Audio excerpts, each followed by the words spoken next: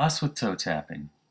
Stand with your feet slightly wider than shoulder width apart and hold a small soft object such as a hacky sack or tennis ball in your right hand.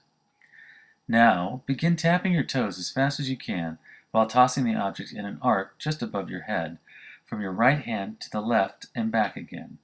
Complete a total of 10 tosses.